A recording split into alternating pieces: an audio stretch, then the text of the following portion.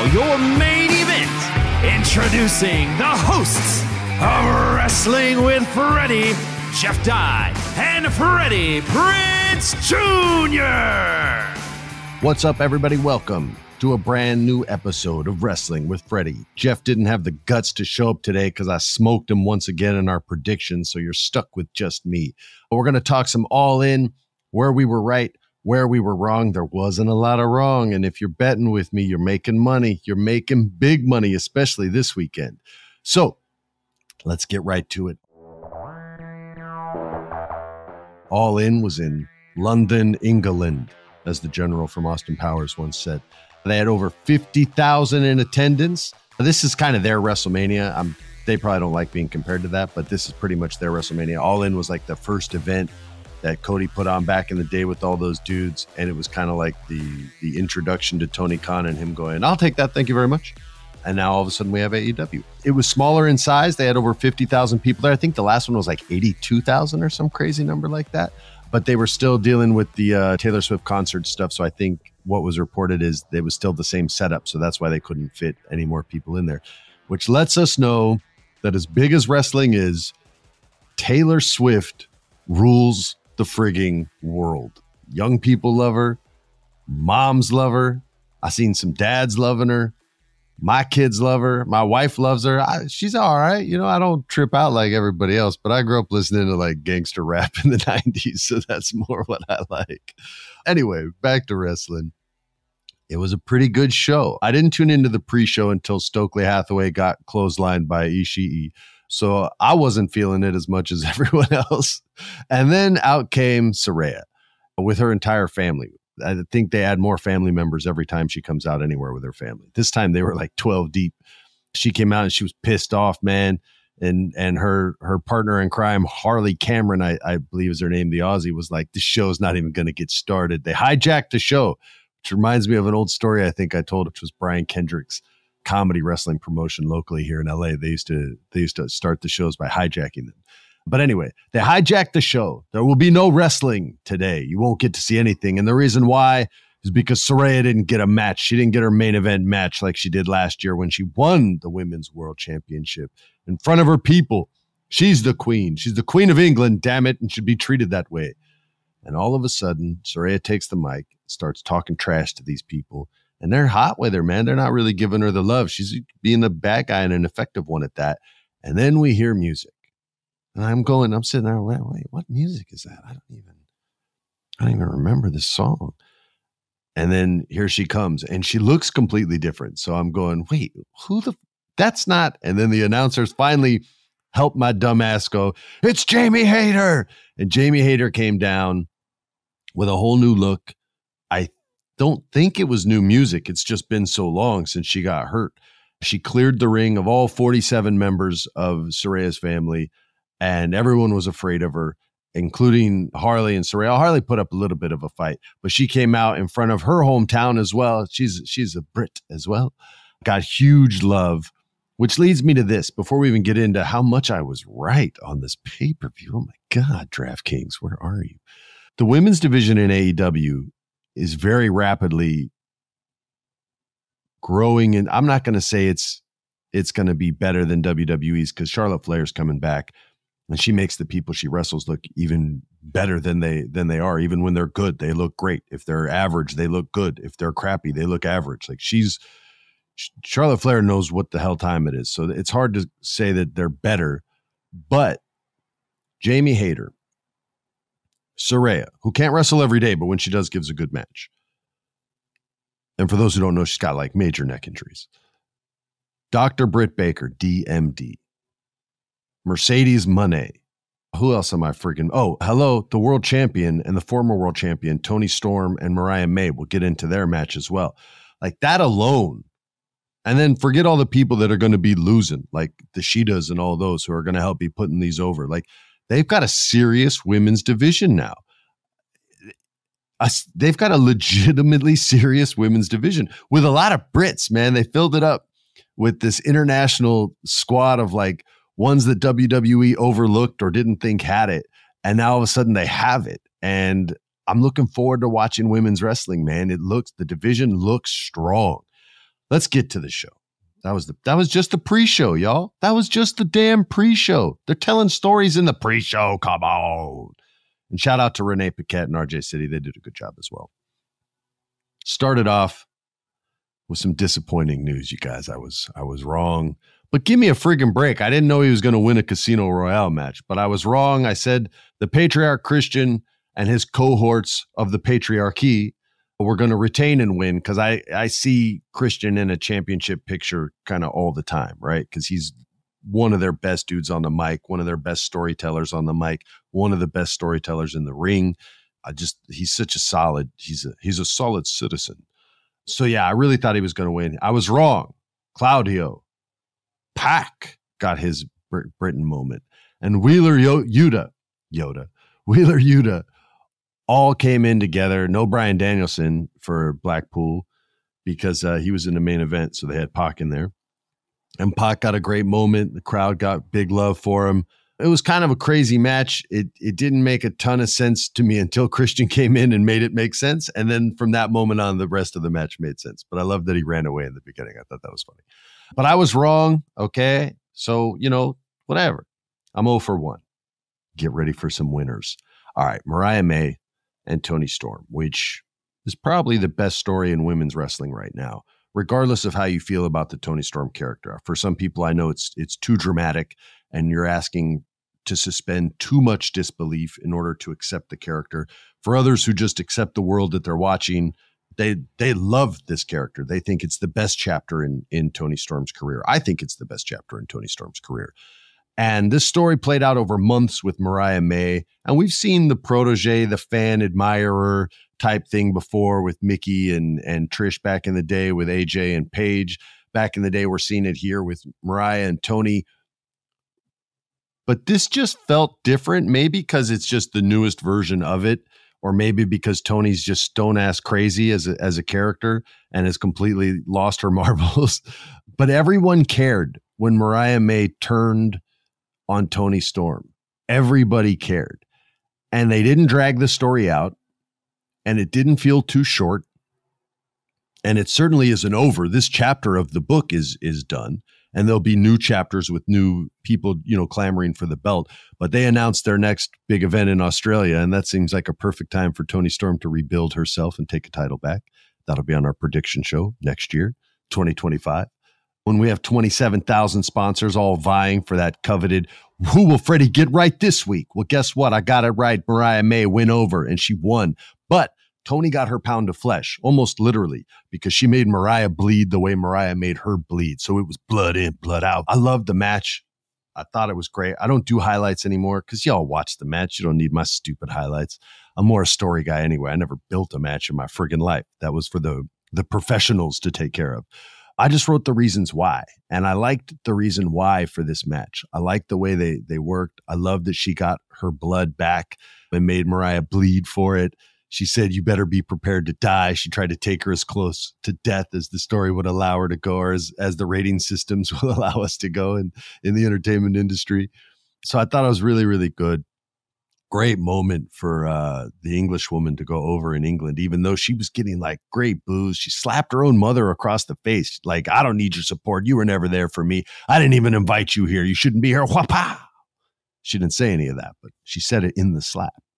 She kissed Nigel McGuinness on the head, which inspired him to take off his shirt, not in this moment, but later that night, pull out the trunks and wrestle in the Casino Royale. I think that's what they call that crazy match, which we'll actually get into because it was the first time I liked it. But it inspired him to wrestle again. Nigel McGuinness, and he was he looked freaking great. He looked freaking great. That's how powerful the smooch of the world champion Mariah May is. And she smooched him on the way up before she was even the champ. So it was tw- twice as special.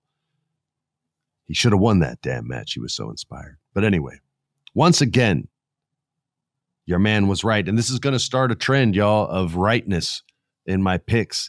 So make your bets, even if they don't sponsor us, still support them. Take care of your gambling habits in the comfort of the nest of the Frederation.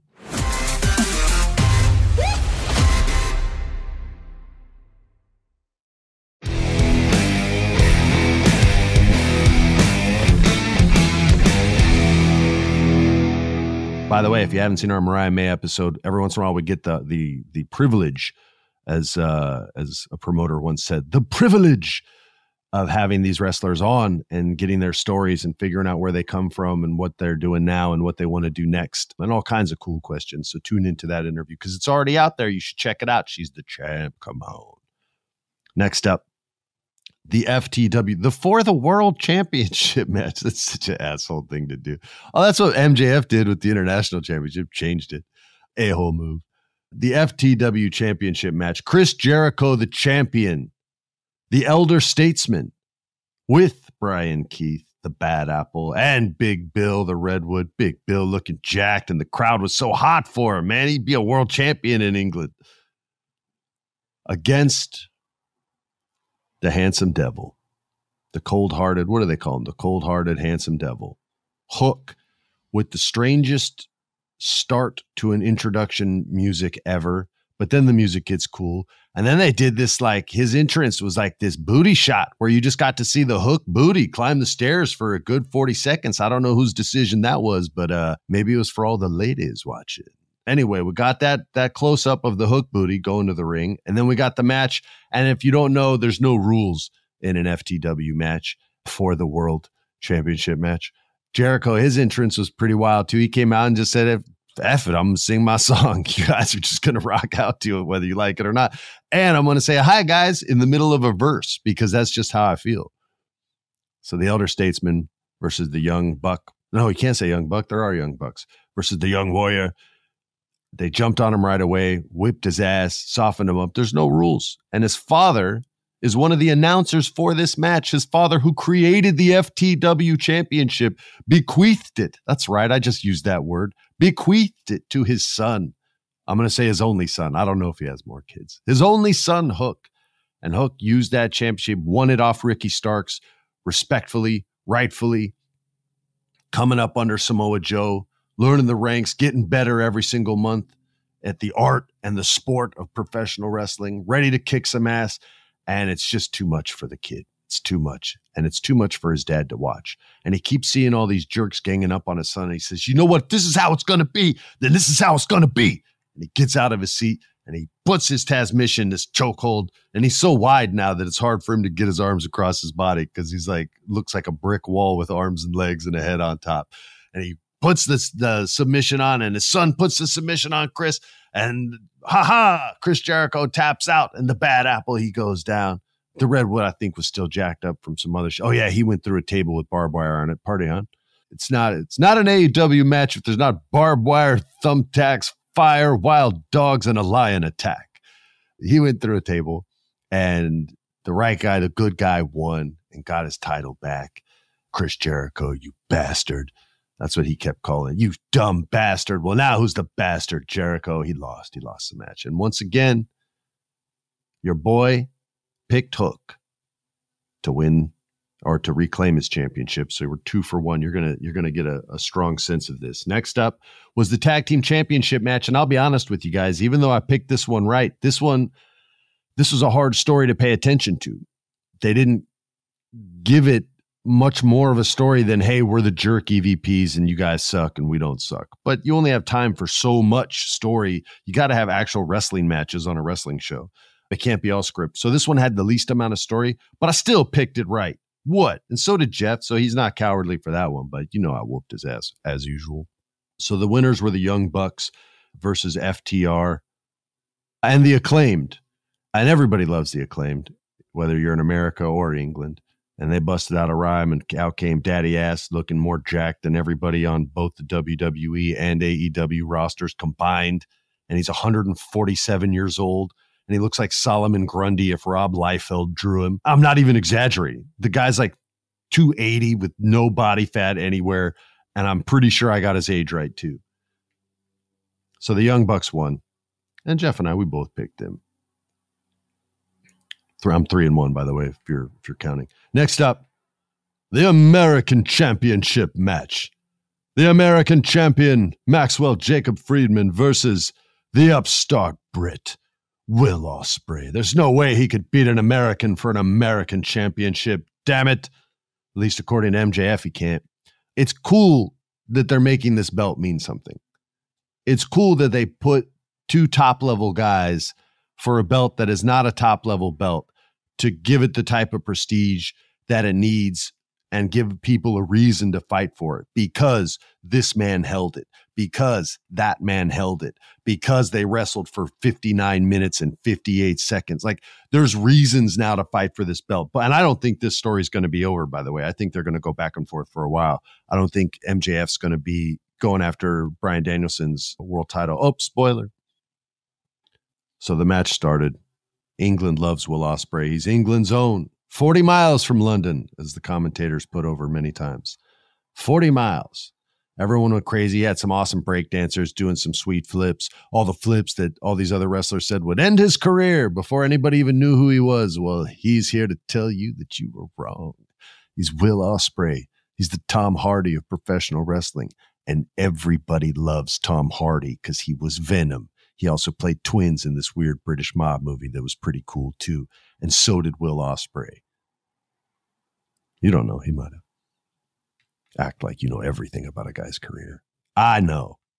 And I told you Will Ospreay would win, and, and Jeff didn't believe me.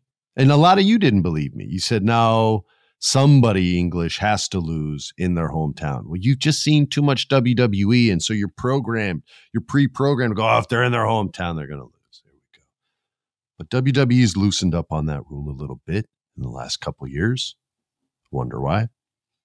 And AEW's always been pretty chill and loose about it. So, once again, your boy Freddie was right.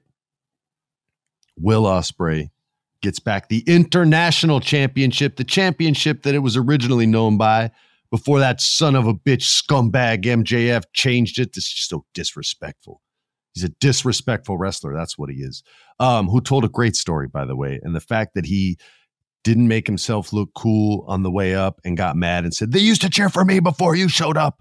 And he allowed that kind of emotion to come out, which only puts the other guy over. I just thought was like, I love when wrestlers do that because these days, a lot of it is, I'm going to no sell a lot of your insults and a lot of what you are and just put myself over. And so when you have the guts to put the other guy over, it ends up getting you over even more. And I felt made that match mean a lot. I loved this match. It was awesome. It didn't have they don't have to do another hour long match for the rest of their lives. They got that one in the in the book and it was pretty fantastic. This is just a great match and the right guy won once again. And the right guy always picks the winner, and that's me.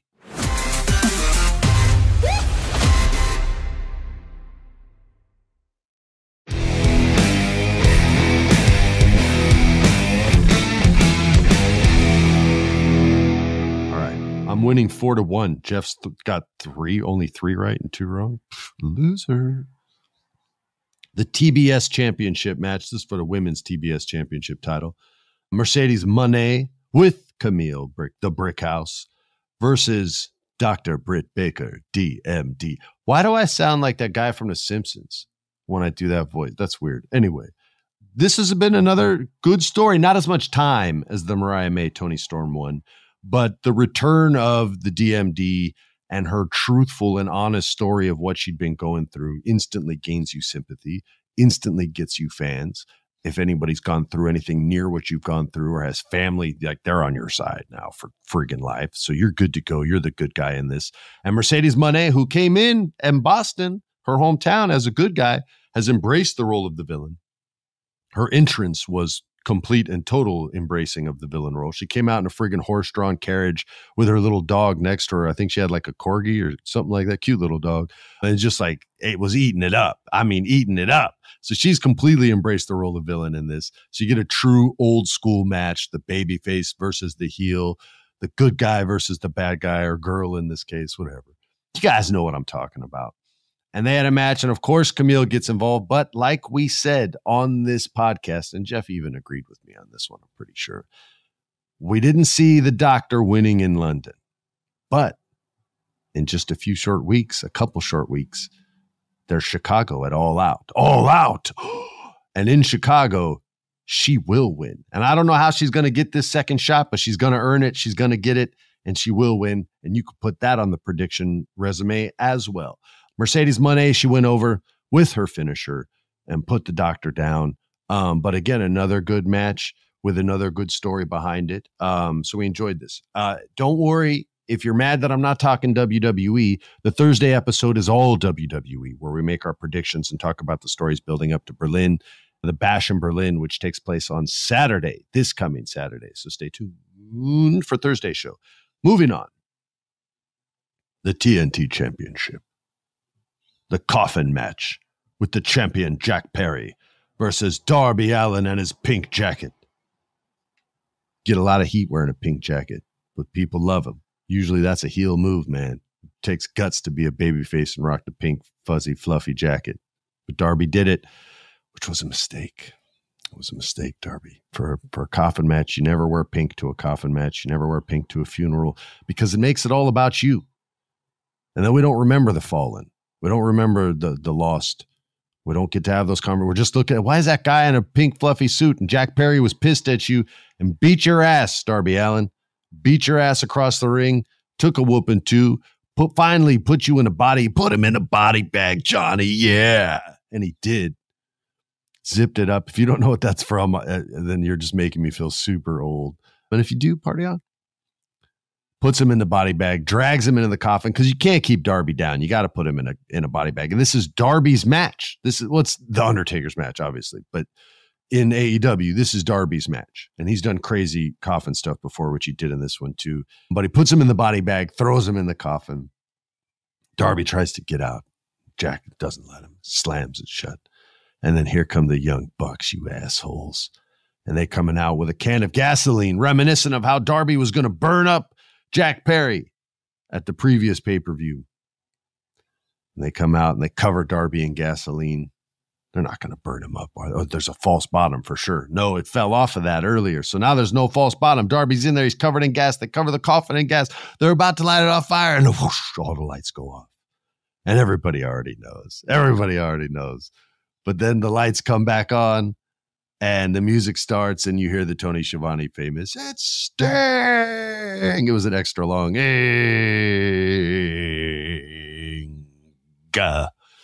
and he comes out with the baseball bat, and everybody's scared of Sting with a baseball bat. And he saves Darby's life because his commentary put over and let us know. He said, "I'll always watch over you, Darby."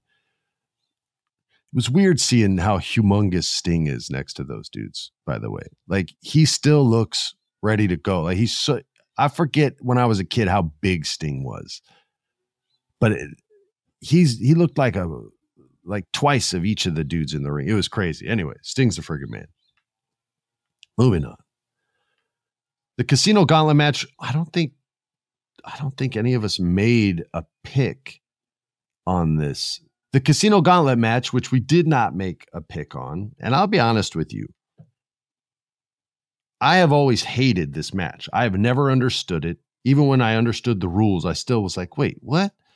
How are these guys going to tell a story if there's no time limit set? Like it could be 30 seconds. How you tell a story in 30 seconds before and get yourself over before the next dude comes out and their job is to get themselves over. So it was always a weird match to me. And then I saw this one. And everybody told a story and commentary was prepared to put over everyone's story, they gave Nigel McGuinness a reason to be in the match. And it wasn't because Mariah May smooched him and inspired him. That's just me being a dumbass. He hates Bryan Danielson. Nigel.